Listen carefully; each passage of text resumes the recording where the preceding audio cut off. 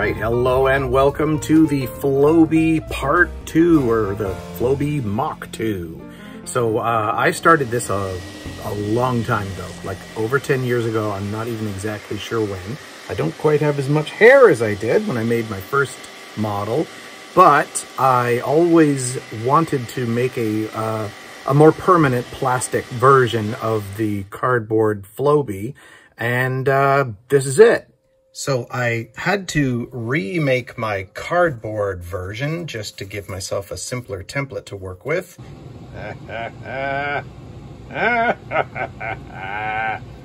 Kirkland brand Flowbee. And used the same little chunk of plastic pipe from before. And this is just clear acrylic that's cut and super glued to itself so that it sits neatly on top of my clippers.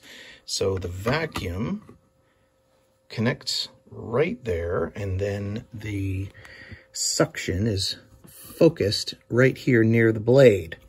Um, it's a bit loud having the vacuum, if you've tried using one of those um, like crevice tools, it kind of focuses the noise and does that as well. But the whole point of this thing is to put on whatever attachment you you want, and then this makes sure that the hair is all pulled straight so you get a more precise cut.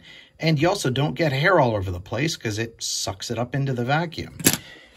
I'm also using this sort of dust collector thing which is, uh, there's another video for that if you want to see how this was made, but this is basically a way of uh, keeping the hair from filling up the vacuum bag all the time.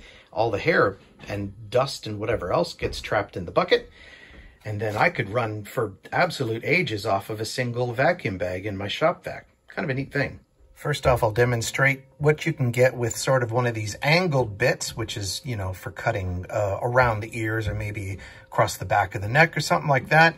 Um, but I'm not going for fancy. Uh, these days, I go for short.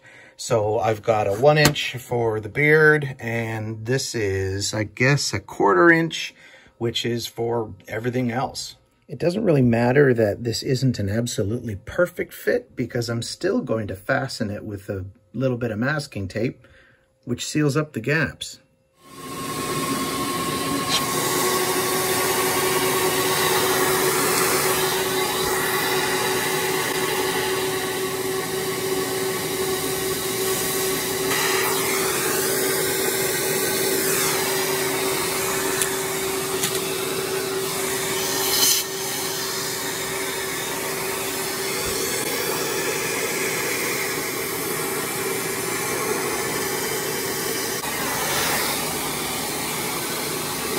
So there we, whoops.